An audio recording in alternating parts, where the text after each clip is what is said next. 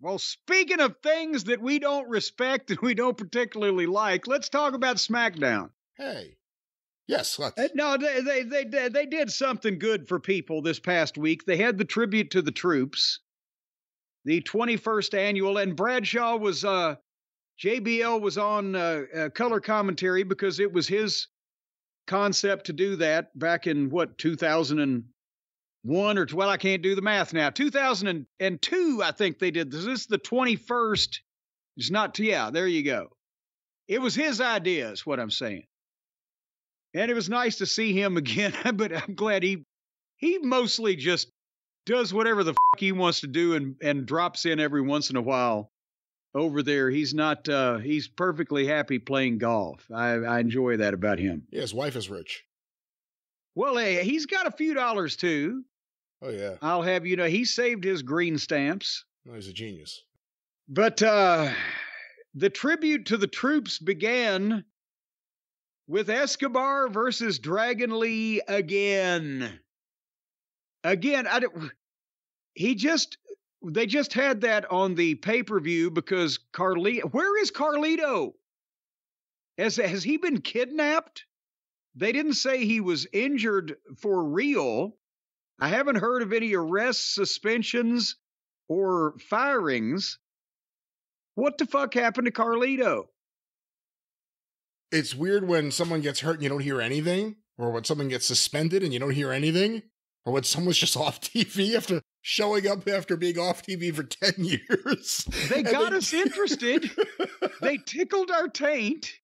He's back. He's in the middle of this thing. It, it looked great. We wanted to see Escobar and Carlito. Eh, all eh, everything was pointing to that. They advertised the match, and then now refresh me. They did an angle where Carlito. So Carlito, it's not like he walked out, went back to Puerto Rico, and refused to fucking participate. He did an angle backstage where they hurt him, where that usually means that he was injured and in real life and that they're trying to cover for it, but we've heard nothing about him, positive, negative, or indifferent, since that. He's just gone, right?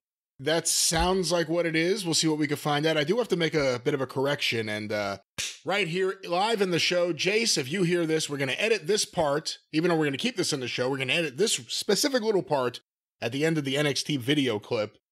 I was wrong. I forgot what I saw last night. Oh. It was not Carmelo Hayes defeating Dominik Mysterio for the North American Championship. Carmelo Hayes defeated Alexis King, the former Brian Pillman Jr. Dragon Lee with Rey Mysterio defeated Dominik Mysterio for the ah. North American Championship. Ah. So, well, that just changes everything. So that was it. We got that result wrong. I got it wrong, not you. Well, I didn't see the whole thing. But Dragon Lee. I, was, I wasn't even there. Dragon Lee gets squashed by Escobar, who I like more and more every time I see him out there as a heel. And he doesn't look that great. And then he goes to NXT and he's a massive baby face. And he's got Rey Mysterio in his corner. It was like night and day from SmackDown. Well, but here, uh, okay, then chronologically, he uh, Dragon Lee takes Carlito's place on the premium live event, and Escobar beats him in like eight minutes in a kind of a bleh match. And then they have Escobar versus Dragon Lee again on SmackDown here, and Escobar hits his finish and beats him one, two, three. This time it took him 20 minutes. And then Dominik who came in and stood over Dragon Lee and taunted him as Dragon Lee was laying there like a sack of shit because of their match for the NXT title that we just referenced the following night. And the following night, Dragon Lee, after he's got the shit kicked out of him twice in a row by Escobar, comes in and wins the fucking belt. Is what you're saying? With Rey in his corner. With Rey in his corner. Okay. All right. So we got that straight now, right? Yeah, the booking of him on SmackDown has been uh, puzzling, I have to say. I don't see what I don't I'm not chasing the dragon here. I'm not on the dragon train. I don't know what's going on with this guy, but uh, to me I don't I'm not seeing it. But did you notice they had Nick Aldis in the back in his office with Randy Orton. Randy, who RKO'd Nick, the GM of this whole schmoz. They did a big package on his return. And then they're standing there in the office. And I like all the, Adam Pearce is kind of like the the somewhat frazzled and beleaguered hardworking, honest guy that's doing the best that he can and just wants to do his job. And you can tell Nick Aldis is just a fucking corporate ladder climbing, fucking power hungry son of a bitch who wants to run everything with an iron fist. But Orton came in and upset that because he's RKO. And remember, I said earlier in the program, the one thing you can be sure of is Punk is not going to attack Aldis in any fashion, or nobody else is going to be beating Aldis up because Randy's done it and will probably do it again, and that's going to become his thing. He, maybe he's going to be Austin and Aldis is McMahon, but nobody else is going to get a hold of the general manager. But Nick has Orton teaming with LA Knight against uh, Jimmy Uso and Solo on the show because uh, Aldis said that LA Knight, well, he saved you last week. And Where's all he saved me? Well, and I got to trust this guy. I don't know him, blah, blah, blah. And Aldis is trying to put him at ease, saying, oh, it'll be fine. So Orton is given, Orton got fined 50 grand for giving Aldis the RKO, right? So Orton hands him a check and he looks, he's like, this is for $100,000. And Orton says, that's right. That's for next time. And he walks out. So we got that going and and that's going to be fun. And Aldis is has got that pomposity of being an upper crusty British fellow that people are, are going to love seeing him get planted on his fucking face every now and then. Should they have all this chasing him down each week to give him back a check for the overpayment? And no, I think they should have one of the production assistants. and he never accepts the money back. He never accepts. He says, hey, "You keep it. Go buy you a car." Or he starts doing the RKO to the production assistants. Well, and then giving them the check back. I don't know. Anyway, we'll we'll leave that one alone. See, that's about as much thought as the writers actually give this shit. All this has been great though. He actually has been a breath of fresh air on this show. He's very British, very British. You don't know what he's going to do. You can't tell how big of a dick he is. you know, like there's still the mystery. Like who's he going to really fuck over at some point? Well, so that's the thing. He's not really like a flaming heel. Is that you can tell that he's just he wants to be a success. He maybe they're patterning him after Vince a little bit. It's going to be nothing personal. It's business. He's going to cut anybody's nuts off if it means his show and or he himself does better. Whereas you know, poor old Adam is probably going to end up being the babyface in this situation as, as the guy who genuinely wants to do good. Like Adam's like the GM you can see showing up in a minivan. Yes, but Aldis Aldis is coming in in the fucking you know the the SUV with the black windows. Aldis gets out of the car with Vince. Yeah, yeah. and Adam Pearce gets out of the car with me. anyway, Speaking of getting out of the car, Cody got out of his car, went into the building, and then came to the ring and did a promo. And got a big response, but it was the tribute to the troops uh, themed program. And I don't know if I don't know if ev- it wasn't everybody, but a significant portion of the audience was in uniform of some kind of another, whichever branch of the service they were in, right? And so he got a big response. He introduced the tribute to the troops package that I'm guessing was recycled from some time back because John Cena was really the only talent in it, right? And this wasn't new footage. So it, it gave the the flavor of the tribute to the troops concept, but it was pretty much John Cena, right?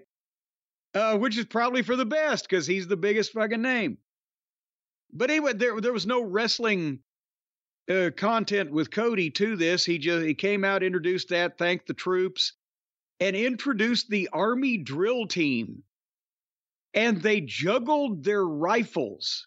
And I mean, they're throwing them up in the air and they're turning loops and they're catching them. And I'm thinking, my God, this is a goddamn a wrestling crowd with these guys doing this intricate shit. If anybody drops one of these things, they're going to blow the fucking roof. But fortunately, they. Well, no, you know, They're not I mean, loaded. Huh? They're no, not I'm not talking about the gun going off. I'm talking about the fans are going to hoot at this fucking guy. You fucked up. You fucked. It's a wrestling crowd. You know they'd acted like it was the goddamn is like the bartenders do the bottles with the fucking acrobatic pouring and everything. Somebody drops a bottle, everybody applauds. I felt bad for these guys. Because they're there with the spotlights in their eyes and the fucking crowd in this arena. But they nailed it. They juggled the rifles and then they left. But that would be funny if the dropped the fucking rifle and the rifle shot grandma up in a cheap seat, shot her right between the eyes. It wouldn't be funny. We're not saying it would be funny. Well, The idea is hysterical. though. Grandma could be a fucking bitch when she wanted to be. Can you imagine that though? If the fucking rifle landed, bam, and it shot some woman in the fucking cheap seats between the eyes, and she just fell right over in the middle of her popcorn. No, she fell over the rail and over the rail and does a fucking flip and lands on somebody down in reserved and breaks their fucking neck. Now they're in a goddamn wheelchair and they're got to be represented by Stephen P. New 87750 Steve. Oh, good. It could set off a chain reaction. Shoot the woman. She falls on the. When the guy's neck gets broken, he shits himself. When he shits himself, someone slips guy- on it. Somebody slips on it behind, falls down the fucking stairs. It's a Rube Goldberg goddamn contraption. I'd watch that show. Well, let's uh How let's, many people can we kill with one shot? well, speaking of which, let's uh, go back to the uh, weekly death that is SmackDown. Moving on. So Lashley and Karrion Cross, that they're having a tournament here in Weeland now. Uh, to determine who's doing what to who. Help me again. What title Number shot one contender for the U.S. title held by Logan Paul. There you go. And there's eight people in it, basically four people that you figure might win and four job guys. And this was Lashley against Karrion Cross, so you see which one neatly fits in the other compartment. And besides, again, who's the heel here? Why am I? If you don't want to actively cheer for someone or root for someone or at least have some minor interest in one of the two people winning, you just watched a fucking match and then it defaults to who's the biggest star. Well, Lashley's the biggest star. That means most people are going to fucking cheer him. But usually, the reason why heel versus heel matches, when presented very rarely and sparingly, would draw is because if you book two heels against each other, they were two heels with both with heat that the fans wanted to see each of these dastardly assholes do the horrible things that they do to the baby faces to each other because they deserve it. At which that doesn't fit here either. And it's so it, it seems like it might not be hard to at least have some baby faces and heels in the tournament also instead of just blah picking names out of a hat. But nevertheless, what did we see in Karrion Cross in another lifetime? He was bald and intense, and he had a good entrance in the smaller NXT environment, and he had a valet that stood out, and they worked well together, and she was really good at lip syncing. And Yeah. I don't know. I don't know. Well, boy, how Were we wrong? That's the question. Yes, yes. We- See, for the people who who never who say I never admit when I'm wrong, I mean the the growing the hair hurt, the change in their presentation hurt, the fact that he was brought up and couldn't succeed at anything hurt, the the promos really hurt. We didn't hear that many of them in NXT. Uh, All he was doing for a while there when they brought him up was these horrible memorized hokey dramatic promos i don't remember so many of those in nxt but nevertheless he went from somebody we thought well this guy's got a lot of potential to oh jesus christ what happened and i saw the first minute or two of this it was sloppy awkward and plodding And they went to the break, and that was enough for me. Uh, when they came back, Lashley beat him with a spear, one, two, three, after a while. Ah.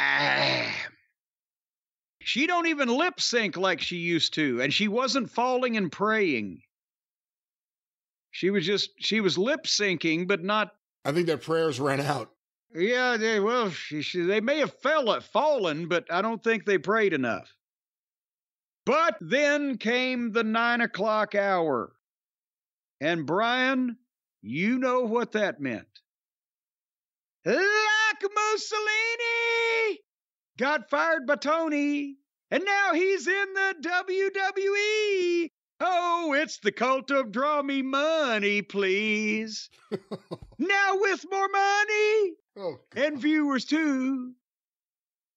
Mindy's Bakery's open seven days a week now. All right. oh, come on. That's not like you to give up halfway through the song. You didn't prepare more. I, I'm, I'm unprepared. That was good. But no, but that's again, you look at here at the nine o'clock hour now, which he even referenced. That's the first thing he said. Hey, for those of you who haven't noticed, it's, the top of the nine o'clock hour. I'm in the middle of the show. I'm not going to get my time cut. So go ahead and chant all you want because it became a thing that he got his time cut before. But uh, it was. This was what, first of all, the music plays. He gets the ovation, the music, the singing, the chants. He's wearing the Hell Froze overshirt. The announcer is a free agent. Where will he sign? Bradshaw put him over big. And now he had the time to do the promo. He had 12 or 13 minutes instead of six. And, and yet again, this was what what we needed. He he not only did his normal thing where he talks like a reasonable person and connects with people, but then he starts firing up a little bit. Uh, so you want to see the prickly CM Punk? Well, I can do that. And he starts mentioning people. He asks the fans, Raw or SmackDown? Which one do you want to see me go to? And and he gets them fired up in that. Do you want to see me throw out 29 other stars in the main event or 29 other stars in the Royal Rumble and main event WrestleMania? And that gets chance. And it, then, you know, he references people we talked about earlier in the show, and we'll rehash it here because it's been a while all of the other baby faces that he has to interact with, there's a different level of acceptance of him by them. Going from Seth Rollins completely, fuck this fucking guy, all the way to Cody shaking his hands, welcome back, old friend, and everything in the middle. And, you know, he starts off right at the top, the old friend who welcomed me back the most, which we later find out or we find out pretty much here, uh, Cody says, What do you want to talk about? But maybe it should be more like, Who do you want to talk about? And, you know, he mentioned the spicy shit, but now he's more comfortable now that he's got back home. He's going to get the, put the feet up on the couch. And he mentions Roman, I acknowledge you. Congratulations. Epic reign. Don't forget who the OG Heyman guy is. He was my wise man first. So now that's open. And he shouted out Jey Uso. But now, does he need to fight with Jimmy and Solo? If he needs backup, can I tag with Orton? You know, because somebody wouldn't want to tag with me. You know, maybe like LA Knight or Kevin Owens. And then that's when he hit the fucking line Kevin Owens, he punches people in the locker room and backstage. You can't do that in 2023. That's insane. And like we said at the top of the program, the people didn't react. There was a few, but for the most part, that audience doesn't know. But he, you saw the smirk on his face. That wasn't a reaction line. That's also one of the Bucks pals that he's talking about, Owens.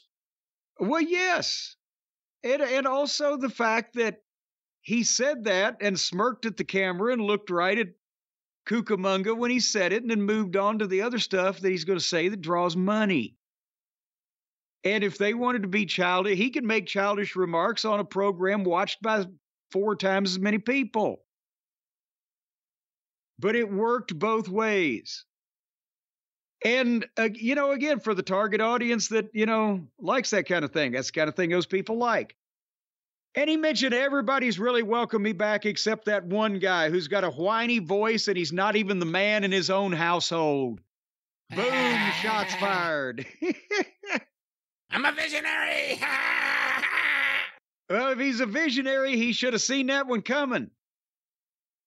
But anyway, and and so then he's we're going to find out on Monday at Raw where I'm going to sign. And everybody that I've mentioned has one thing in common. CM Punk is in their way. And you everybody's talking about finishing stories. Well, I'm back to finish what I started, and that's to main event WrestleMania. And boom. He said he mentioned people, he set a goal for himself, he teased the fans with where he might go and what he might. You want to see me throw out 29 other guys? Of course they do there's directions all over the place. There's multiple things set up. There's a stated goal. Other people that have stories to finish their stories would mean that he might not be able to finish his story. So, at what point does that become more important than friendship? Because somebody said he wasn't here to make friends, he's here to make money. So, all the people that he's shaking hands with now that may or may not last. And eh, yeah, that's what it's questions for fans to, that's what Vince used to in the smaller production meetings with the creative team and the agents, not the broader ones. And the announcers would be, he'd say, Are we telling stories? Are we getting them to ask questions? Not because they don't know what's going on, but are they asking the questions we want them to ask? We want them to be at, we want them to be anticipating these things that they're going to make themselves want to see. That's Vince's shit. And that's honestly fucking common sense. So that's what they did here. And again, it was 12 minutes, not six. Mentioned names, stated a goal, got a little more prickly, got under some people's skin without trying to do a smart fucking promo that nobody understood. I say bravo for this one. What do you think? I thought it was great. It was exactly what it kind of needed to be. The Raw promo was so disappointing. There was no time for it. The crowd was into it, other than the Bucks line, because no one knows anything about it. I thought it was really good, and they've done a great job a month and a half, two months out from making you want to see that Royal Rumble. What's going to happen? Multiple people have already declared. They made a big deal out of Cody just declaring himself that he's going to be in it. And now Punk's kind of said he's going to be in it. So they're already building that Rumble up. And I'm looking forward to it. But think of the number of people for once this year that you would want to see, or some fan, some segment of fans, not just one guy in a fucking, you know, basement in Cleveland, but large numbers of fans would want to see Cody win, would want to see Punk win, would want to see uh, LA Knight win, would want to see Jey Uso win, would want to, and you Orton. can. Uh, Orton win. You can tell the story. Jey Uso wants to win to fight his fucking cousin again. Everyone has a story. That's the great thing. I mean, he LA, said it. L- Punk said LA it in that Knight promo. wants to get even with for fucking the other the other month over there in Saudi Arabia. Cody has to finish his story. Punk has to achieve his goal. Everybody has a different singular reason for needing to win the Royal Rumble. And again, Punk brought up he's the OG Paul Heyman guy. So there's the thing that immediately ties him somehow into the bloodline story. Just actual history. If he was to win to face Roman Reigns, can you see Roman looking like, wait a minute, can I really trust you, wise man? And they've already had the kerfluffle in the past over Brock.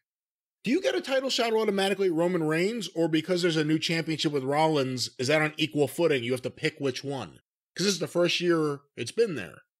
Well, that's a good question, and I would think you would get to pick, much like a if if, if the Money in the Bank briefcase can pick, can't the winner of the Royal Rumble pick? So you have that dynamic too, because they are building up Rollins Punk without either one saying the other one's name. Yeah. Well, and I don't think it's not going to be Punk and Roman. But I'm saying that if you if you did that, there's a there's a story to it. If if somebody gets hurt, you change your mind. Okay, we got to do this. Well, there's there's stories to all of this shit. So you got different ways to go. But I still I still I think Punk and Rollins and Cody and Roman if they don't have The Rock and who knows, rocks are harder to get a hold of these days. Does AEW look worse and worse every day that goes by that CM Punk doesn't punch someone in the face? or make someone scared for their life? I think he's too busy giving out free neck rubs and aromatherapy treatments. And then after this interview in the back, they had him outside the bloodline door and he raised his hand like he was going to knock and he's thinking about it and he says, ah, fuck, and he turns away. And there's Owens. And they kind of exchange tense words and somewhat of a reluctant, I can't remember his handshake fist bump, but it was like, yeah, we're good. Okay. So it wasn't love and tenderness, but it wasn't, we're going to fight on sight. But he just so called that, him out, even in kayfabe, he just called him out in the ring. So I thought it was an interesting, short, simple segment. I like it. Again, where are they going to go with these two now? Hopefully, not far for long. And then when Punk walks off, that. When Punk walks off, Owens is walking the other way. He stops and turns around to see Punk where he's going. Yeah. Well, he's gonna he's gonna be looking over his shoulder. You never can tell. And then we got Charlotte and Asuka. And now this. Uh, did you see the the break spot where the incident occurred? I saw the video going around because I guess people weren't sure what she did that she hurt herself, and then the video made it pretty clear what happened. Well, this was going to be, uh, you know, I wasn't going to watch this, but I didn't really have to fucking uh, ignore anything because they had a bad girl fight in the entrances with all the seconds where you know, the Asuka's whole group and Charlotte's babyface friends where they all fought off and Charlotte and Oscar got started and she did the Charlotte did her moonsault off the top rope to the floor and they went to the break in 90 seconds.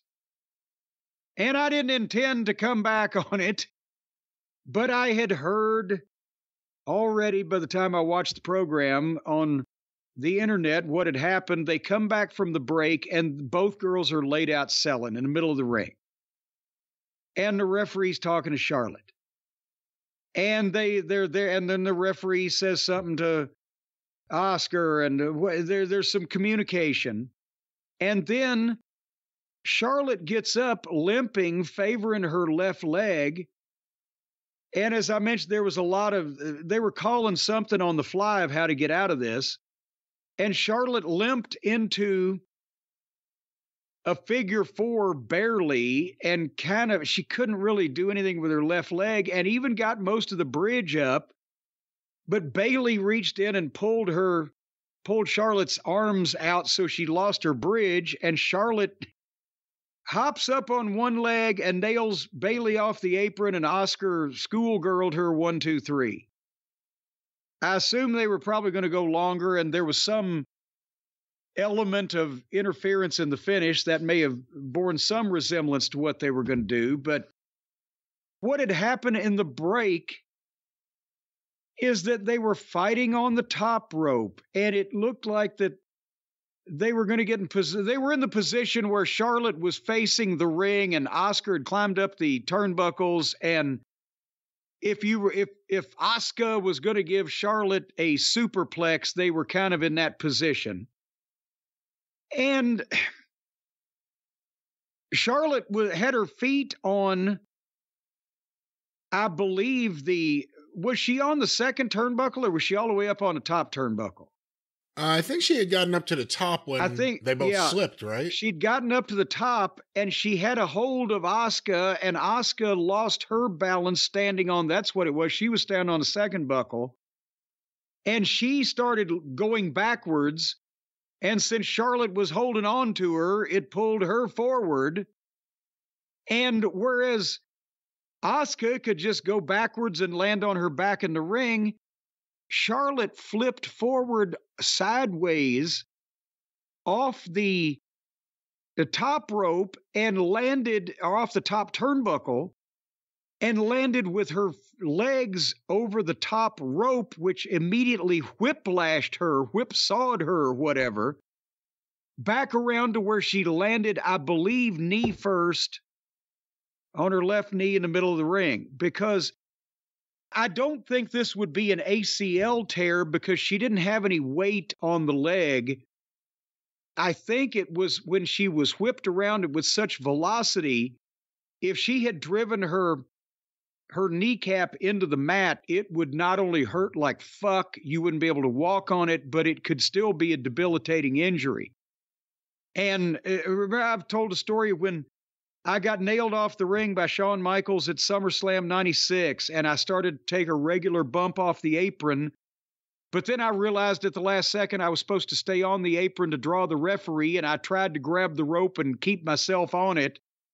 I spun around, boom, kneecap first into the floor, and it almost it almost busted the bursal sac. And the point being, I had to have tons of blood drained off of it. It's not a pleasant procedure. That can fuck your knee up too without tearing a ligament. But eh, she either landed on the point of it or maybe the whiplash of hitting the rope at that speed possibly may have torn some cartilage or done something. But the point is, she gutted out to get out of the thing as best she could. But god damn it. I know I bitch all the time about how they all fight forever gingerly on the top rope.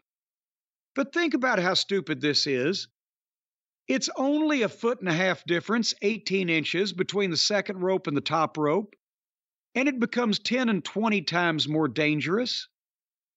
The superplex was started by the superstar Bill Eadie. He had his feet on the second rope on either side of the turnbuckle inside the ring. And the fucking guy he was giving it to, you could crotch the guy on the top rope or you could pick him up and set him on the top rope, but he could set on the top turnbuckle. He didn't have to climb up to the top rope either. His feet could be on the second buckle and then when you start to give the guy the move, he can push off with one foot on the top rope. Most people might not even notice it, and you're going over. But while your feet are on the second rope, you have a base for your balance. The guy inside has those the top rope going around his knees, right below his knees if he's a grown adult man. And you can brace yourself that way. And the other guy sitting on the going the other direction he's got something to push off of to grab a hold of that's not the shit that he's sitting on. It's easier to balance on the second rope and to not make it look phony. Because for both people to get up on the top rope with their feet and nothing else to take that bump that's 18 whole inches higher, you have to gingerly help each other up there like you're pulling a baby out of a fucking well and it looks so bullshit phony. And it's dangerous. How many times have you seen people, Brian, fall off the second turnbuckle and fall out of the ring? Off the second turnbuckle? Yes. I mean, I've seen them intentionally do that a bunch of times. Well, no, I'm talking about accidentally. How many times people that are on the second rope, either inside the ring or even outside the ring, slip, or accidentally fall off out to the floor? Pretty rarely. How many times have you seen that happen when people are standing up on the top rope? Somewhat more frequently. There you go. There's a reason for that. So, anyway, I hope Charlotte's okay, but it looked like it fucked her up. And there's that. and then Nick Aldis was in his office with CM Punk. And Aldis hands him the contract and says, I'll let you look at this and leaves. And that's what I mentioned before. And we're not going to see Punk be the anti authority guy. He may be anti authority, but he's not going to be physically abusing Aldis. But as Aldis leaves, Punk's looking at the contract. Cody walks in. And they're kind of standing there looking at each other. Cody said, Well, it sounds like to finish your story, You need to win the Royal Rumble. Yeah. Cody says, That's interesting. And Cody offers his hand and says, Welcome back, old friend. And Punk shakes it. And they wouldn't be having these conversations if it wasn't going to mean something. But we don't know what yet, or how, or in what form or fashion. And then they continued that before you comment on this. LA Knight and Orton were in the back. And Orton wasn't really happy about teaming up with LA Knight because LA Knight got there after Orton left. They don't know each other. Can he trust this guy? But then Punk walks up and says, Good luck, boys, and walks off. And then Orton says to LA Knight, Are, are you ready? And LA Knight, Yeah. And off we go. This is like, it's almost getting to be the end of the show at uh, the old days of Crockett Promotions, Mid Atlantic Wrestling, where they just send three or four of the top mini baby faces that they had to go out and just say a couple of things about their big angle, and that was all they needed. But it, they're they're all interacting with with Punk already. Yeah, usually I'm against the whole the camera's there. Why is it there? Filming these conversations. What purpose? Makes sense here. CM Punk's in the back. Follow him with a camera. There you See go. See what he does, who he hits. They've done nothing but build up intrigue with Punk and everyone. He's aligned himself with no one, even the people that he's literally either called or been referred to as a friend by, like Cody.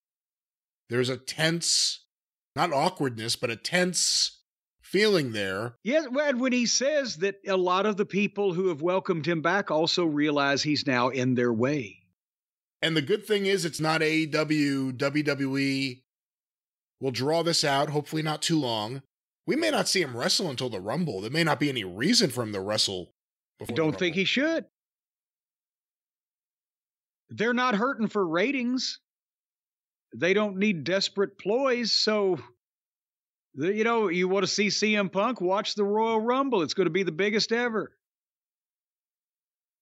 Well, we shall see what happens. Yeah. well, anyway, so. And then they started the entrances for our main event, which was Solo and Uso against LA Knight and Ortono. Uh, and I liked it because they only took eight minutes tonight or that night for the entrances for the, you know, for the main event. So they actually had 15 minutes left on the air when they rang the bell for the match. And have you noticed now that not only next to a lot of the people on this roster, but next to everybody we're watching in modern wrestling, Randy Orton now looks like Andre the fucking Giant. He also does look pretty big, bigger than he was before he left, but he looks gigantic compared to. Well, I mean, I think he's, he, he can't he can't take supplements and grow four inches. He looks six foot eight now, next to all these other fucking guys. When did he suddenly get so fucking tall? He's a giant now. He was he was one of the normal guys at OVW. Fucking hell. Anyway, they did the thing where Orton and LA Knight do the reluctant, not reluctant, but the they tag themselves in when the other guy doesn't know it's coming because there's tension there. But then suddenly, because I guess they figured they're running late, Uso just nailed Randy from behind and they went to the break in two minutes. And they came back and they got some heat on Orton for about 30 seconds. And then he made an ice cold tag to LA Knight. And it, again, it's when I say he made it, it wasn't his fault. Nobody was trying to fucking stop him. These fucking guys cannot set up a hot tag to save their lives. And I'll say it again for the newbies out there in the audience if the baby face that has been selling can make a tag to his partner and it's obvious to the fans in the arena that he cannot be caught, cannot be stopped, his way is unobstructed, and he's so close, nobody else is anywhere remotely around him to be able to prevent it. It ain't a fucking hot tag. It's a foregone conclusion, and you kill your pop. So, ice cold tag to LA Knight makes a comeback did a nice Bobby Eaton running neck breaker. And then Solo stopped him and they got heat on LA Knight for about fucking a minute, maybe. And now Jimmy Uso's punches, I use punches in quotation marks. Both those brothers are killing me. But Jimmy now, his punch is an open handed slap to the forehead that he then shows to the fans afterwards. Did you see that one? I'm now watching it because of you. Yeah. He fucking slapped him in the head with an open hand and then held an open hand up to the fans with a follow through. Like, see that? It's like the old deal where you're showing the referee, I didn't hit him with a fist, it was an open hand. He really did hit him with an open hand. It's not even illegal. What the fuck do they think people are blind? They're not goddamn magicians. They're not sleight of hand experts. Who was that goddamn guy that did the as seen on TV magic kit when I was a kid? I've got it on one of the shelves around here, but I can't see the fine print. Anyway, so then LA Knight gave Randy Orton an even colder tag. He was right in front of him, and nobody was preparing or trying to even stop him. But the fans popped for it kind of anyway because it's Orton. And he made a comeback and boom, boom, boom, and hit his draping DDT. And then Solo stopped Randy from behind. And then LA Knight DDT'd Solo and then went to use his BFT on Jimmy Uso, the BFT and the DDT. Went to hit the BFT on Uso, and Randy snatched him out of the grasp of the BFT to hit the RKO. One, two, three. So Randy stole LA Knight's victory, but they shook hands anyway. But there's tension. RKO, BFT, FYI, Tension. YOU. Tension. That's the uh, big thing now. You got to have the proper amount of tension. You can't just be slack and limp and flaccid like Tony is. Roman Reigns back next week. Back next week on the SmackDown to be confronted by who? Who knows who? LA Knight, Randy Orton, CM Punk, Nick Aldis, Logan Paul, Pat McAfee, Bronco Nagurski. Oh, come on. Now, you, now Loud you're going too noises. far.